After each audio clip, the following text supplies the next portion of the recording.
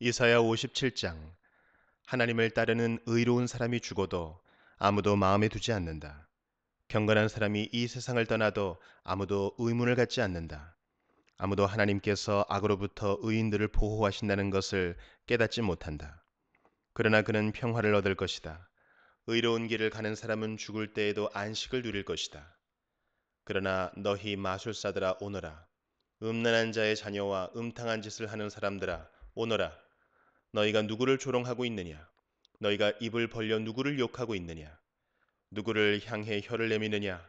너희는 악인의 자식들이요 거짓말쟁이의 종자들이다. 너희는 모두 울창한 나무 아래에서 음란하게 우상들을 섬겼고 골짜기에서 자식들을 죽여 바위 틈에서 제물로 바쳤다. 너희가 받을 몫은 그것들 가운데 있다. 바로 그것들이 너희가 받을 몫이다. 너희가 그것들에게 부어드리는 제물인 전제물을 바쳤고 곡식 제물도 바쳤으니 어찌 내가 너희를 용서할 수 있겠느냐? 너희는 높이 솟은 산에 잠자리를 마련해 놓고 그리로 올라가서 우상에게 희생 제물을 바쳤다. 너희 집과 문설주 뒤에는 너희 우상을 숨겨 놓고 나를 버리고 너희 벌거벗은 몸을 드러냈다. 우상들과 사랑에 빠졌으며 그것들에게 경배하였다. 너희가 음란한 마음을 먹은 사람들과 더불어 언약을 맺고 그들과 자는 것을 좋아하였다. 너희는 음탕한 길을 택하였다. 그리고 기름과 많은 향수를 가지고 왕에게로 떠났다.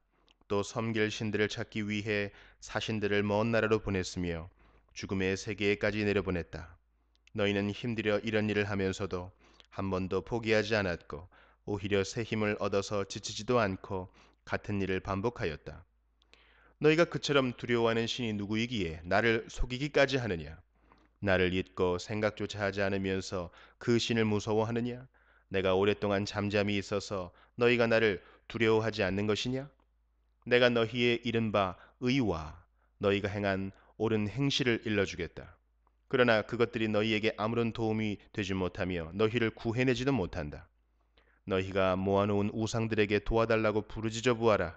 그것들은 너무나 힘이 없어서 바람이 한번 휙 불기만 해도 쓰러져 버릴 것이다. 그러나 나를 의지하는 사람은 이 땅을 차지하고 내 거룩한 산을 물려받게 될 것이다. 여호와의 말씀이다. 길을 다시 닦아라.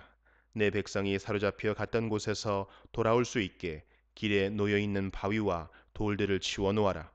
높고 크신 하나님, 영원히 사시며 그 이름이 거룩하신 분께서 말씀하셨다. 나는 높고 거룩한 곳에 산다. 그러나 나는 또한 마음이 슬프고 겸손한 사람들과 함께 산다. 내가 그들에게 새 생명을 줄 것이다. 나는 너희와 영원히 싸우지는 않을 것이며 항상 노하기만 하지도 않을 것이다. 내가 계속해서 노하면 사람의 목숨이 약해져서 결국 내가 지은 사람이 죽게 될 것이기 때문이다. 사람들이 돈 때문에 정직하지 않으므로 내가 노하였다. 그들을 심판하였고 진노 가운데 그들에게서 돌아섰다. 그런데도 그들은 악한 짓을 버리지 않았다. 나는 그들이 한 행동들을 지켜보았다. 그러나 나는 그들을 고쳐줄 것이다. 나는 그들을 인도하고 슬퍼하는 사람들을 위로해 줄 것이다. 내가 먼 곳과 가까운 곳에 사는 사람에게 진정한 평화를 주겠다.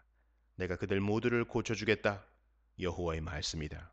그러나 악한 사람은 성난 바다처럼 안식을 누리지 못한다. 그 파도가 쓰레기와 진흙을 쉼없이 쳐 올릴 뿐이다. 악한 사람에게는 평화가 없다. 내 하나님의 말씀이다.